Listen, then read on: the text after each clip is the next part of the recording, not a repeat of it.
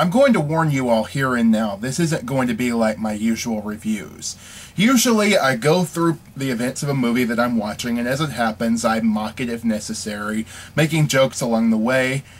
But this movie is different. Not only is this movie primarily symbolic in nature, so I can't cover everything we see because that would be redundant and stupid of me. This review is kind of like that, but I'm going to warn you that this is going to be a bit harsher than usual. Because just between you and me, I hate End of Evangelion. No, not because it's bad, although it kind of is, but for another reason entirely. It's bad on purpose. What do I mean by that? Well, today we're going to find out.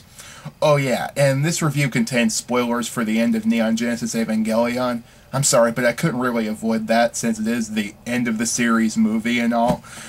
So if you don't want the series spoiled for you, refrain from watching this review.